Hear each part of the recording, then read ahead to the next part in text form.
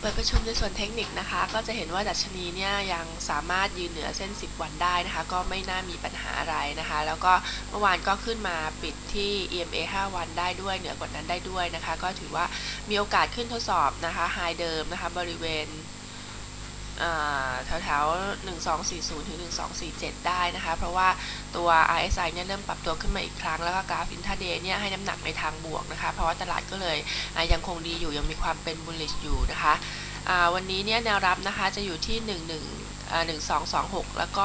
1219 นะคะ ส่วนแนวต้านเนี่ยก็จะมีประมาณ 1240 แล้วก็ 1247 สต็อกวิวตัวแรกนะคะ เป็นไทยคมนะคะ จะเห็นว่าเหวี่ยงตัวในกรอบอัพเทรนมาตลอด แล้วก็น่าจะคงแนวโน้มนี้ต่อไป เพราะว่าสัญญาณจาก MACD ที่อยู่เหนือ Zero Line แล้วก็ Signal Line เนี่ยก็แสดงความแข็งแกร่งของแนวโน้มได้เป็นอย่างดีนะคะแนวรับเนี่ยจะอยู่แถว 16 บาทนะคะ ต้านเรามองไว้ 19 บาท แล้วก็คัดลอสที่ 15 บาท 50 ค่ะ ถัดมาจะเป็นตัว BBL นะคะ จะเห็นว่าเหวี่ยงตัวในกรอบ ไซด์เวย์เนี่ยมาประมาณสักเกือบ 2 เดือนได้แล้วนะคะ แต่ว่าเมื่อวานนี้เนี่ยได้แรงเหวี่ยงท้ายตลาด แล้วก็บวกสัญญาณซื้อจากเครื่องมือขึ้นมาก็คิดว่าน่าจะเบรกแนวต้านกรอบบนของตัวไซด์เวย์ขึ้นไปได้นะคะแนวต้านเนี่ยที่เรามองไว้ถัดไปจะอยู่ที่ประมาณ 203ถึง205 บาทนะคะแนวรับ 190 แล้วก็คันลอสที่ 188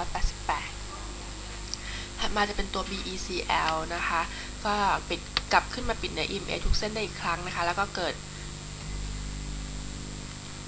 เกิด bullish engulfing ในกราฟแท่งเทียนนะคะ ก็มีลุ้นดิดตัวขึ้นต่อ แนวรับจะอยู่ที่ 23ถึง22บาท80 ต้าน 24 50 แล้วก็คัดลอสที่ 22 50 นะคะ สุดท้ายจะเป็นตัว AOT เนี่ยจะเห็นว่าดิดตัวขึ้นจากเส้น EMA 10 วัน แล้วก็ได้แรงหนุนจากเครื่องมือทางเทคนิคทุกตัวนะคะ ที่ให้สัญญาณซื้อนะคะ AOT ก็ยังน่าจะไปต่อได้